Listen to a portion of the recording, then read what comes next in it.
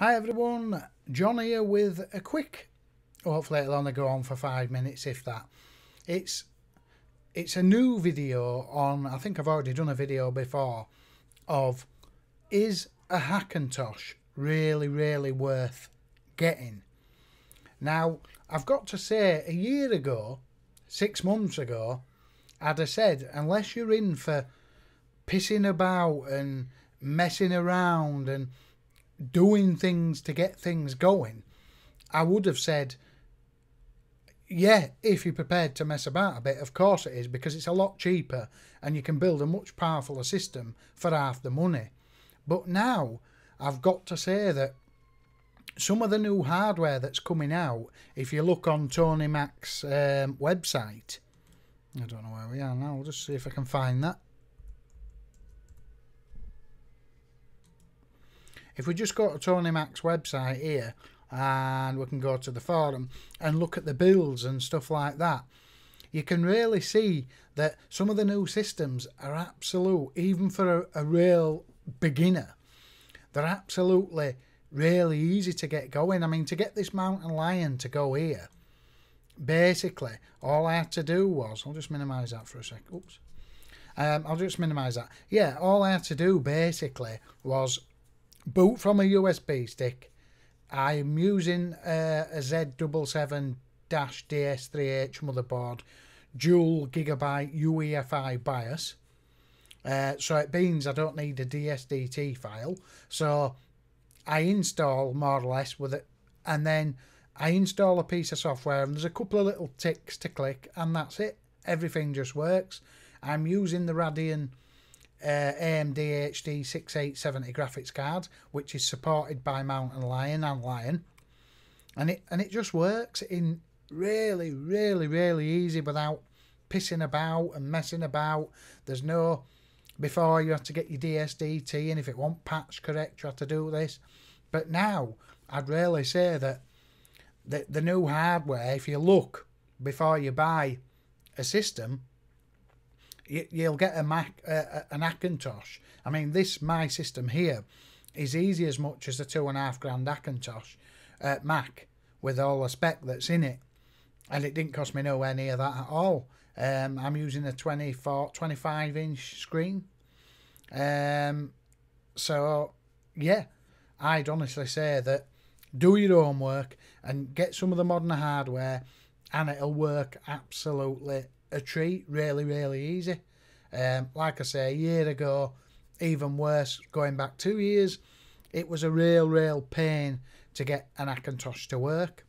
But now it's really, really easy to do.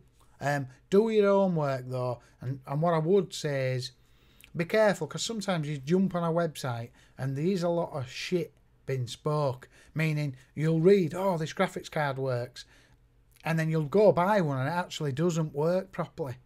So really, really go to Tony Mac's website, which is, am I on it right one here? Is it this one or this one? No, it's this one. Go to this website and really read through and make sure, like, I can highly vouch a gigabyte board with a dual UEFI BIOS, um, and it won't need a DSDT file, so that's what you want. And I can highly vouch for the AMD 68 HD 6870 graphics card. I do believe the 6850 or any of the 68 series work just the same.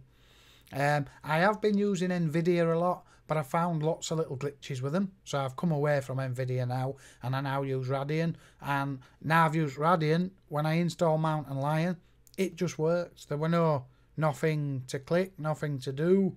It just worked. The only thing I really installed in Multi Beast was a little patch for the CPU um, because the stepper gets locked and I install the internet driver for the onboard sat, uh, onboard Ethernet port and everything just works out of the box. Um, that's on a Hackintosh, just no messing around. Anyway, I hope this video helps. Um, and thoughts of Mountain Lion or Lion over Windows 7, over Windows 8. I've had a go Windows 8. I liked it. I hated it at first, but now I'm actually, the more I use it and the more I figure out how they've changed things around a little bit, but not that much. I'm starting to like it. I think it's great, but I do think as a workhorse that that, that OS X is better. I mean, I like the way you can just click on a picture and just press spacebar. You know what I mean? And you can do the same on a movie. You can just click on it. Oh, it's a JPEG. That's not a movie. Sorry. Have I got my Final Cut training video? If I just click here now and press spacebar, it just starts playing the movie straight off. And it does the same with RAW files. Whereas in Windows, for starters, when you've installed Windows, it won't play a MOV file. You've got to download a codec. Um, you've got to double click on pictures to view them. Uh, on on Mac, you can just press spacebar and have a quick preview. Um, same with videos, you've got to double click them on the Mac. You can just press the spacebar and the video will come straight up. I like how RAW files, you can just view a RAW file by pressing spacebar. Whereas in Windows, you can only really view it in a bridge or a piece of software. Um, I do believe somehow you can get it to work, but I think the Mac takes it for that. And I use Windows and OS X, and I've got to say, I've used Windows for a lot of years, and I've been using the Mac now for about two.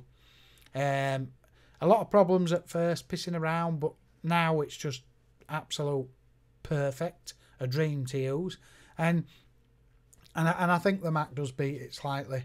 Um, it does anyway. When I'm in Photoshop and doing stuff like that, I notice that when I start to get a little bit of lag, it happens quicker in Windows. Does does the bit of lag than in the Mac? Is there a great deal of difference? Loads?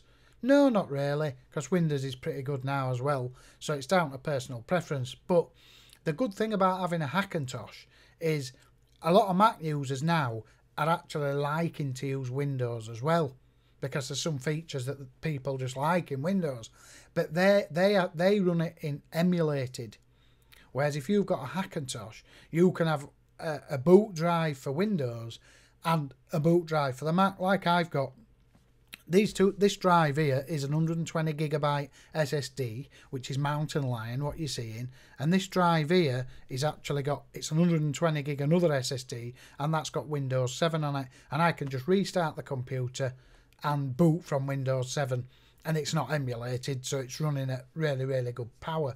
Whereas with a Mac or with a Mac yeah um, you've got to run emulated. Now a Windows 7 machine you can download VMware and still run the Mac operating system but again that's running emulated and I have tried it and it's not nowhere near the same as having a damn right down and out Hackintosh or a proper Mac or whatever way you want to go about it. I don't want to start a war off. Um, I usually don't start wars off. Um, so yeah, I hope this helps. And if you're going to build a Hackintosh, they work absolutely spot on nowadays.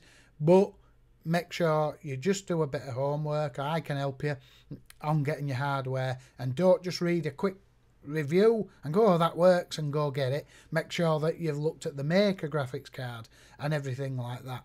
Anyway, thanks for watching. Please comment and subscribe.